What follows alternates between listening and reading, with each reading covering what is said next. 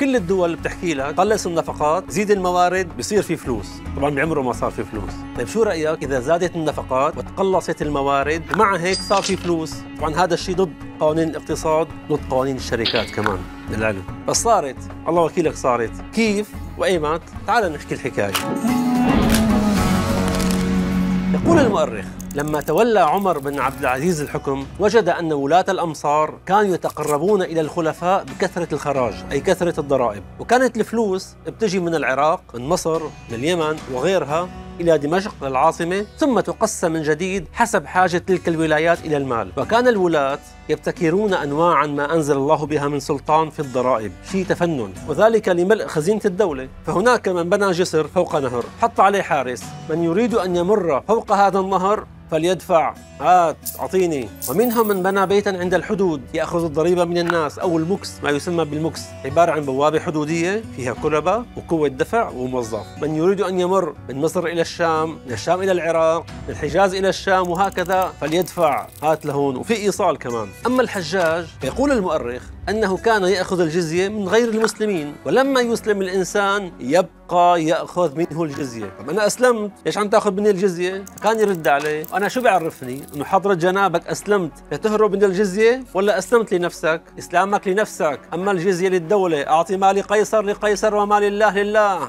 هات ادفع. وكان وضع الدولة مثل هلأ قصدي مثل الإنشار. الطالع بيأكل والنازل بيأكل. فلما استلم عمر بن عبد العزيز أراد إيقاف ذلك كله. كله بلا استثناء. أول شيء عمله غير الطعم كله. عزل الولاة وولى ولاة غيرهم. وثاني شيء أوقف كل هي الضرائب وألغاها. يقول المؤرخ ابن الجوزي في كتاب سيرة ومناقب عمر بن عبد العزيز لما ولي عمر وضع المكس عن كل الأرض ووضع الجزية عن كل مسلم وكتب إلى عدي بن أرطاط أن ضع الجزية والمكس عن الناس ولعمري ما هو بالمكس ولكنه البخس. وكتب إلى عامله في فلسطين اللي كان عنده البوابة الحدودية ما بين مصر والشام أن يركب إلى بيت المكس. فاهدمه ثم احمله إلى البحر فانسفه في اليم نسفا يعني افنيه فناء ويقول ابن كثير في البداية والنهاية كتب عمر إلى حيان عامله على مصر بإيقاف الجزية عمن أسلم. هذا مسلم ليش عم تأخذ منه الجزية؟ رد عليه حيان. أما بعد يا أمير المؤمنين فإنه إن دام هذا الأمر توقفنا عن أخذ الجزية من أهل الذمة أسلمت الذمة فأرسل إليه رسولا. وقال له بتضربه بتضربه بتضربه حتى يعرف أن الله حق. فقال له كما يقول المؤرخ اضرب حيان على رأسه ثلاثين صوتا أدبا على قوله. وقل له ضع الجزية عمن أسلم قبح الله رأيك. فوددت لو أسلموا كلهم حتى نكون أنا وأنت حراثين نعمل من كسب أيدينا. إن الله بعث محمدا داعيا ولم يبعثه جابيا. وكتب أيضا إلى والي اليمن أن ضع الجزية عمن أسلم. فكتب إليه والي اليمن أخاف أن تتوقف الجزية فيقل الخراج. فقال له عمر سبحان الله ثم سبحان الله ثم سبحان الله شو العقلية السقيمة؟ إن لم ترفع لي من اليمن إلا حفنة من كتم إلا كمشة شعير فقد علم الله أني مسرور بها. ففعليا أوقف عمر المكس أي كل ضرائب الجمارك وأوقف الضرائب التي على الجسور والطرقات وأوعز إلى الولاة أن يتوقفوا عن أخذ الجزية عمن أسلم. وأيضا من أسلم فعليه جزية متراكمة سنتين ثلاثة فلا جزية عليه. وقال لأحد الولاة من أسلم وجزيته في الميزان يعني إجا حط الجزية في الميزان عم يوزنوها والآن قرر يسلم. ضاع عنه الجزية بيرجعوا الجزية معه في جيبته. بهذه القرارات شو صار؟ توقفت الموارد الضخمة التي كانت تفيد إلى العاصمة ولم يبقى من مورد إلا ما فرضه الله سبحانه وتعالى على الناس. ما هو؟ الزكاة. 2.5% على التجار. مقابل ذلك أمر عمر بن عبد العزيز أن تفرغ خزائن بيت المال في الفقراء. فبدأ الإنفاق على الفقراء والمساكين أصحاب الحاجات حتى أن عمر أفرغ بيت المال عن آخره وكنسه وصلى فيه يعني فضاه ما صفي ببيت المال ولا حبة. فهل افتقرت الدولة؟ هل أعلنت إفلاسها؟ هل أمروا بالتقشف وشد الأحزمة وحالة الطوارئ؟ لاحظ معي الإيرادات توقفت. النفقات زادت.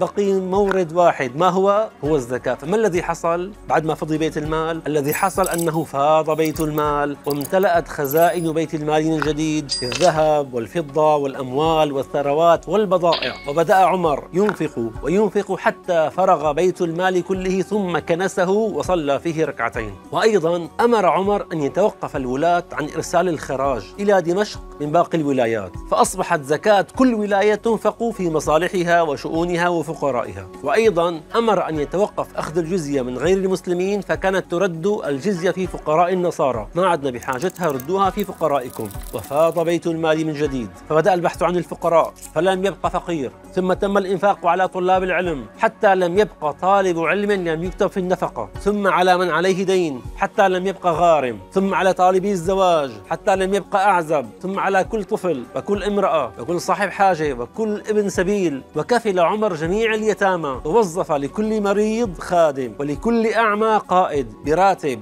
كله من مال الدولة. وفد الأسرى بالمال. وفرض عمر العطاء الراتب الشهري لكل مولود وكل فطيم وحدد عمر معيار من تجب لهم الزكاة. أي الحد الأدنى من مستوى المعيشة. يا حسرتي علينا. من هم؟ من عنده بيت واحد. وفيه أثاث. وعنده حصان ولديه خادم. وعليه دين فقد استحق الزكاة. يا حسرتي علينا. يعني البيت والخادم والمركوب والأثاث أساسيات وليست كماليات. وضاعف عمر رواتب العاملين في الدولة حتى لا يصبح هنالك لا فساد ولا يعمل بعمل آخر غير خدمة الناس. يعني صارت رواتب العاملين في الدولة عالية جدا. صارت يعني رواتب القطاع العام أعلى من القطاع الخاص. القطاع الخاص القطاع الخاص. ولم يبقى أحد لم تنفق عليه الدولة. لا كبير لا صغير لا مأمط صغير إلا من؟ إلا التجار اللي هن مصدر المال. وصار عمال الدولة يسيرون في الطرقات ينادون هل من فقير فنعطيه؟ هل من غارم فنقضي عنه دينه؟ هل من طالب زواج فنزوجه؟ هل من صاحب حاجة فنقضيها له؟ ومع هذا الإنفاق شو صار بخزائن بيت بيت المال؟ امتلأت خزائن بيت المال من جديد. ويقول المؤرخ ثم يأتي الرجل ومعه الصدقة أو الزكاة فما يبرح حتى يرجع بماله كله فقد أغنى عمر الناس. والله الذي أغنى الناس الله وليس عمر بهذا القانون قانون الزكاة. حتى أن المؤرخ يقول على لسان أحد العاملين في جمع الزكاة كنا نأخذ الزكاة ممن كنا نتصدق عليهم في العام الماضي. كلما زاد الدفع زادت الأموال. حتى نادى عمر انثروا القمح على رؤوس الجبال حتى لا يقال جاع طير في بلاد المسلمين. كل هذا حصل خلال ولاية عمر التي لم تستمر أكثر من سنتين وأشهر. في دولة حدودها من الصين شرقا إلى الأندلس غربا ومن روسيا شمالا إلى اليمن جنوبا. هكذا كان يعيش الناس في دولة الإسلام وفق قانون الله تعالى في المال. المال الذي يكثر بالبركة ويكثر بإنفاقه وليس بتخزينه وعلى غير ذلك يعيش اليوم أولياء الشيطان الذين يأخذون ما لا يحل لهم من ضرائب من جيوب الناس ويتذرعون بالاقتصاد وشح الموارد وما في نفقات وإلى ما هنالك. الشيطان يعيدكم الفقر ويأمركم بالفحشاء. والله يعيدكم مغفرة منه وفضلا. والله واسع عليم. هذا ما قاله المؤرخون في كتبهم وهذا ما نقلته لكم عما يقوله المؤرخ أنا إبراهيم كوكي وكان حديثنا اليوم عن الإنفاق والقطاع العام والقطاع الخاص. القطاع الخاص